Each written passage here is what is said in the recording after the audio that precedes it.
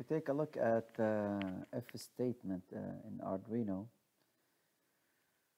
basically it is uh, most uh, mostly used as if. Then you have a condition.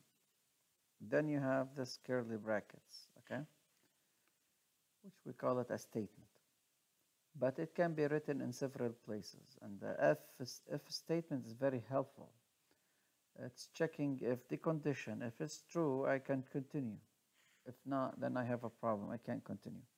So it is a, you know, the condition is a Boolean expression, e either 0 or 1, or you can say true, false, or low, high. It depends on our situation. Uh, example, uh, how to write uh, the if statement. Uh, this is a very nice example. I want to share it with you, and this is very a quick thing. Uh, I can say, hey, if x, this is my condition, okay? If x is greater than 120, what you are going to do? Make the pin called LED pin, make it what high. That means you set this pin to high. Digital write in Arduino, that means I'm writing a value to this pin you can define this pin in your code whether it is pin number 13 all the way to 1 it's up to you. Um, so let's say we have here LED pin is uh, pin number uh, uh, 11 let's say. Let's take a look at some of previously you know done experiments here. So this is pin 11 okay? So if I want to take a look at the code here this is pin 11 okay?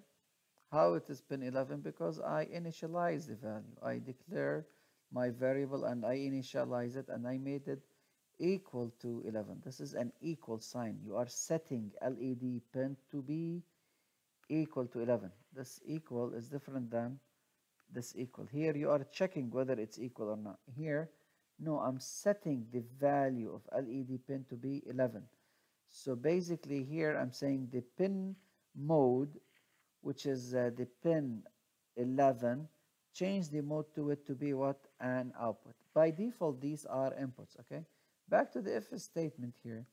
So if x is greater than 120 okay and it was a true therefore you are gonna set this pin to be what? High okay? How I'm gonna uh, write and then you have the semicolon it's very important. So this this is the statement and this is my condition. If the condition is happy, is satisfied, is true, then you can do the following. Is there another way to write this? Yes. I can say, hey, this is my if statement, this is my condition, and I can just, you know, click enter, and this is on separate line. It's the same because if statement is going to go all the way to the semicolon. Uh, another way to write it here, same thing. I have the if, then I have the condition. This is the condition. Then I can write, I can put my statement within bracket. Okay, this is my statement within bracket. But make sure, you know, so this is very, very similar to this one here. Uh, another way to write this, you can put if statement, then open the bracket, put your statement here, semicolon, put another statement, semicolon, and the bracket is done. Clear? So all are the same. But here definitely, you know, we have LED pin 1 and LED pin. Let's say it's LED pin as the other one. Here, just to show you, I can write more stuff inside the bracket. Okay. Uh, so we can write it this way without a bracket, curly brackets. Here, similar to the previous one. If I want to use curly bracket, I use it this way. If I want to take a look at our experiment, we have the if statement. This is our condition. If this is uh, true, then I have my brackets, my curly brackets that belongs to uh, those two, they belong to what? they belong to this if statement. Okay?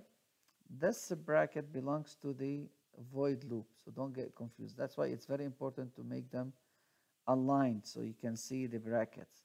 And this one here is aligned with this one to tell you it's for void loop. Uh, this is the if statement. You can see, hey, if reading is not um, equal to switch state, okay? So what you're going to do, you are going to open this statement. Then I have another if. If reading, okay, see here. If this condition is true, that means the reading is equal to high and the switch state is equal to low, okay? Then you are gonna do the following. This is my statement, okay? This is my condition. If this is a true, make the LED value opposite to the current value. So let's say we start with LED 1, negation of it will be 0. So now LED state will be 0. Okay. Then I have a semicolon. Then I put another statement with semicolon. Then I put a third statement with semicolon. All these, okay, they are what? Under one curly bracket. Okay, so that's what I'm seeing here. That's it. It? So this is the curly bracket. I have here my first statement, second statement, and that's what the reference is saying as well. If it's a true, then I have a statement inside or statements. Okay, keep in mind that you are checking here whether x equal to y. I'm not saying x is equal to y. No, I'm, I'm saying check whether it's equal to y. Here, check whether it is not equal to y.